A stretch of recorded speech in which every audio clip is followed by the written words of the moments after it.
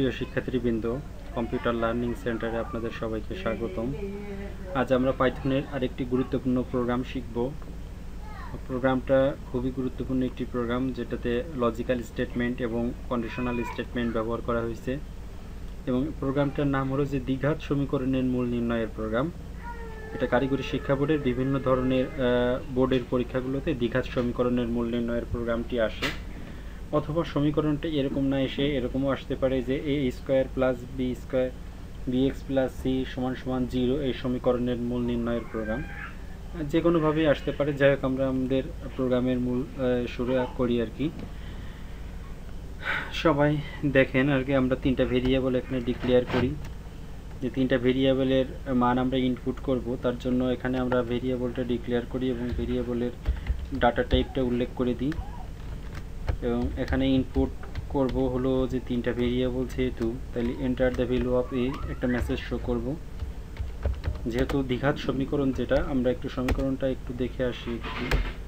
দ্বিঘাত সমীকরণটা হলো যে A square A X square plus B X plus C সমান সমান জিরো এটাই হলো দ্বিঘাত সমীকরণ।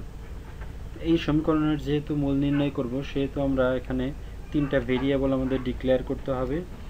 তাহলে আমরা তিনটা ভেরিয়েবল ডিক্লেয়ার করি যে enter the value of enter the value of A তাহলে আমরা এর ভ্যালুটা এখানে ইনপুট নিলাম এবং ডাটাটা অবশ্যই ফ্লোটিং টাইপের উল্লেখ করে দিলাম। এবং এভাবে পরপর আমরা তিনটা ভেরিয়েবল তিন নামে এখানে নিয়ে নিই। এ বি সি তাহলে তিনটা ভেরিয়েবলই নিয়েছি এবং তিনটা ভেরিয়েবলের ভিতরে ডাটাটা ইনপুট নিব, আমরা একটু একটু এক নজরে আমরা একটু দেখে আসি যে দ্বিঘাত সমীকরণটা আসলে কি। দ্বিঘাত সমীকরণটা হলো যে এ এক্স স্কোয়ার, আমরা একটু আবারও দেখি A X square plus P X plus C সমান সমান জিরো। তাহলে এটাই হলো দ্বিঘাত সমীকরণ, এই দ্বিঘাত সমীকরণের যে মূলটা আছে, এটাই আমরা নির্ণয় করে দেখব আর কি আজকের প্রোগ্রাম থেকে আর কি। সবাই দেখতে পাচ্ছেন এটাই হলো দ্বিঘাত সমীকরণ। এখানে এ একটা ভেরিয়েবল বি একটা ভেরিয়েবল এবং সি একটা ভেরিয়েবল এবং বলা হচ্ছে যে দ্বিঘাত মানে কি? দুইটা পক্ষ হবে। এই একটা পক্ষ এবং এই একটা পক্ষ। তাহলে দুইটা পক্ষকে একসাথে মিল করতে হবে। এটাকে বলা হচ্ছে দ্বিঘাত সমীকরণের মূল নির্ণয় করতে হবে। তাহলে দেখছেন যে এখানে সমান সমানের এক পাশে একটা পক্ষ এবং এক পাশে একটা পক্ষ। এখন এক পাশে বলা আছে যে জিরো আছে, জিরো হবে এবং আরেকটা পাশের পক্ষটাকে মিলে জিরো হতে হবে। যদি হয় তাহলে এই সমীকরণের মূল নির্ণয় সম্ভব, আর না হলে আদারওয়াইজ সম্ভব না। তার জন্য আমরা পাইথনে দেখছেন যে তিনটা ভেরিয়েবল আমরা ডিক্লেয়ার করছি এবং তিনটা ভেরিয়েবলের ডাটা টাইপ উল্লেখ করে দিচ্ছি এবার দ্বিঘাত সমীকরণের মূল নির্ণয় করতে হলে আমাদের একটা মধ্যমান নির্ণয় করতে হবে আর কি। তার জন্য আমরা এটা ডি ব্যবহার করি, যে ডি সমান সমান ডি সমান সমান এখানে দেখেন ডি সমান সমান যেটা ব্যবহার করতে হবে আর কি, যে এখানে ডি সমান সমান B square minus four AC তাহলে এখানে বি স্কোয়ার বলতে আমরা বোঝাতে যাচ্ছি যে বি ইন্টু বি এটা জাস্ট একটা ম্যাথমেটিক্যাল ফর্মুলা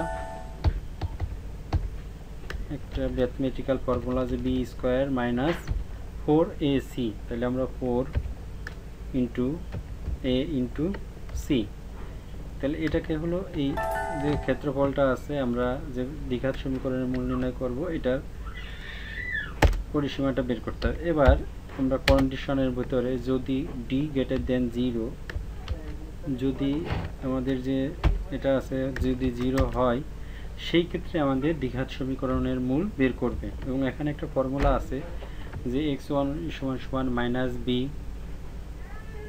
সবাই দেখি আমরা মাইনাস বি ব্র্যাকেটের ভিতরে মাইনাস বি ভাগ টু এ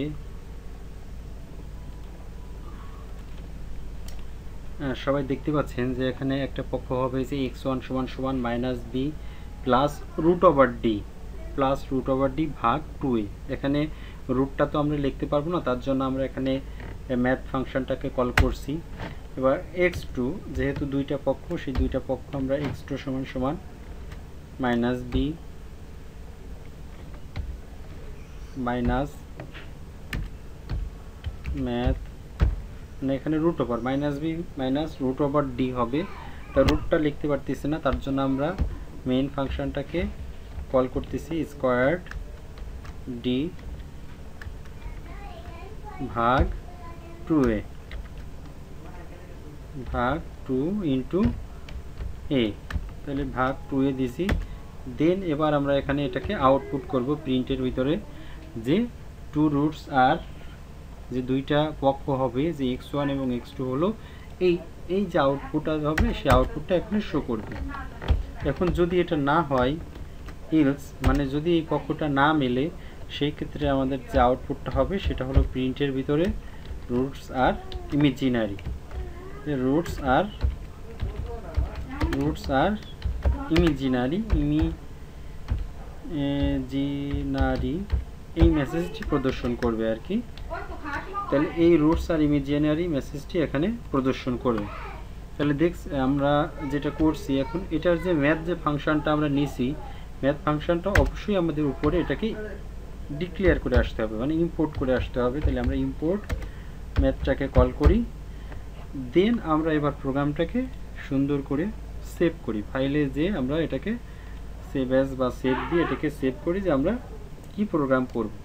তো এটা হলো যে দ্বিঘাত সমীকরণ, আমরা এখানে দ্বিঘাত লিখতে পারি, অথবা আমরা যে কোনো নাম দিয়েই এটা লিখতে পারি। আমাদের প্রোগ্রামটা অলরেডি সেভ হয়ে গেছে। এবার দেন আমরা এটাকে রান করে দেখি রান মডিউলে যে রানে যে enter the value of A তাহলে এর একটা ভ্যালু চাচ্ছে বির একটা ভ্যালু চাচ্ছে সির একটা ভ্যালু চাচ্ছে সবাই দেখতে পাচ্ছেন এখানে একটা মেসেজ শো করতেছে যে রুটস আর ইমিজিনারি মানে কোনো পক্ষই এক করা পসিবল না বা সম্ভব না। আপনারা দেখছেন যে আমাদের যে দ্বিঘাত সমীকরণ যেটা বলছে, সেই দ্বিঘাত সমীকরণটা হলো এরকম দুইটা পক্ষ। দ্বি মানে আপনারা সবাই বুঝতে পারতেছেন, দ্বিঘাত মানে দুইটা পক্ষ যার একটা পক্ষ হলো এই এবং আরেকটা পক্ষ হলো এই। তাহলে একটা পক্ষ যেহেতু জিরো আছে, তাহলে আরেকটা পক্ষ অবশ্যই জিরো হতে হবে। তাহলে দ্বিঘাত সমীকরণের মূল নির্ণয় সম্ভব। কিন্তু আমাদের এখানে দেখছেন তিনটা ভেরিয়েবল যেহেতু ব্যবহার করছি, আমরা একটু প্রোগ্রামে আসি, সবাই দেখেন। যে আমরা যে ভেরিয়েবলটা এখানে ডিক্লেয়ার করছি, যে ফ্লোটিং টাইপের যে ভেরিয়েবল ডিক্লেয়ার করছি যে তিনটা ভেরিয়েবল আমরা যেহেতু নিয়েছি, সেই এ বি সি তিনটা ভেরিয়েবলের মান আমাদের ইনপুট করা হয়েছে এবং ডির মধ্যে একটা মধ্যমা মানে একটা তৃতীয় পক্ষ আমরা এখানে ব্যবহার করছি যে আমাদের এটাকে নির্ণয় করবে আর কি। এবং তার যে কার্যকারিতা বা ক্ষমতাটা এরকম হবে যে B square minus four AC এটা জাস্ট একটা ম্যাথমেটিক্যাল ট্রাম বা সূত্র যে B square minus four AC এবার যদি টি গ্রেটার দেন জিরো হয় মানে যদি এটা বড় হয় একটা আরেকটার পক্ষের বড় হয়, তখন সে এসে এই সমীকরণের এই ফর্মুলাটার কাজ করবে। ফর্মুলাটা কি দুইটা পক্ষ? ধরে নিচ্ছি এক্স ওয়ান একটা পক্ষ এক্স টু একটা পক্ষ। এক্স ওয়ানের এখানে এসে সে এখানে একটা প্লাস ব্যবহার করছে, এখানে সে একটা মাইনাস ব্যবহার করছে। সেই ক্ষেত্রে এভাবে একটা আউটপুট করে সে এক্স ওয়ান এবং এক্সের এক্স টুর ভ্যালুটা প্রিন্ট করবে। এলস যদি এটা না হয় মানে ডির মানটা জিরোর বড় না হয় সেই ক্ষেত্রে এটা বলে মেসেজ প্রদর্শন করবে যে রুটস আর ইমিজিনারি তাহলে এভাবেই আসলে দ্বিঘাত সমীকরণের মূল নির্ণয় করা পসিবল আমরা একটু অন্য সহজভাবে আমরা যদি একটু বুঝি, আমি একটু অন্যভাবে বুঝাই। যে আমাদের দুইটা পক্ষকে মিল করতে হবে। তো এখন দুইটা পক্ষের মধ্যে বলা হচ্ছে যে সাপোজ দুইটা ভাই, এখন দুইটা ভাইয়ের মধ্যে তাদের হয়তো জমি জমাই যেটা আছে, সেটাকে সমান ভাগে ভাগ করে দিতে হবে আর কি।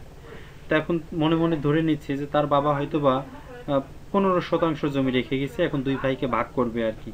তা ভাগ করার পরে দেখতেছে যে দুই ভাই সাত শতাংশ করে পাওয়ার পরে এক শতাংশ বেশি থাকে আর কি।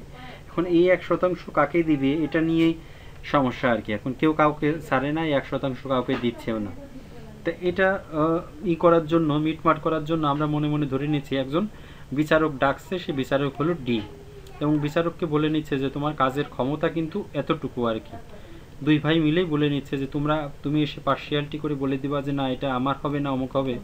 তখন এবার ইফ যদি ডি গ্রেটার দেন জিরো মানে এই সালিশের যে লোক আছে, সে লোক তখনই কাজ করবে যখন গ্রেটার দেন সমান সমান জিরোর বড় হচ্ছে আর কি মানে এক শতাংশ হচ্ছে বা পাঁচ শতাংশ হচ্ছে।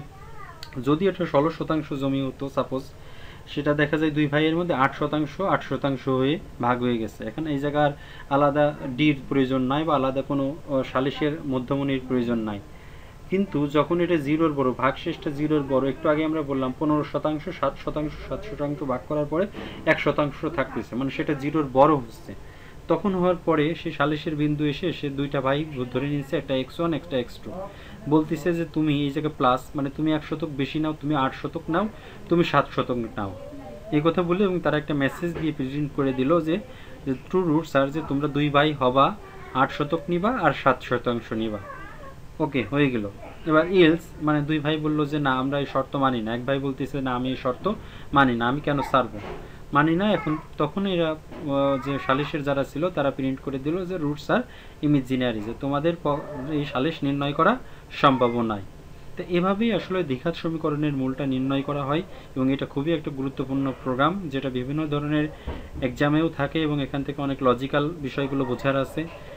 যারা আমাদের ক্লাসের সাথে ছিলেন এতক্ষণ, আমরা আশা করি বিষয়টা বুঝতে পারছেন, এবং যদি কোনো সমস্যা থাকে, তাহলে আমাদের কমেন্ট বক্সে অবশ্যই জানাবেন।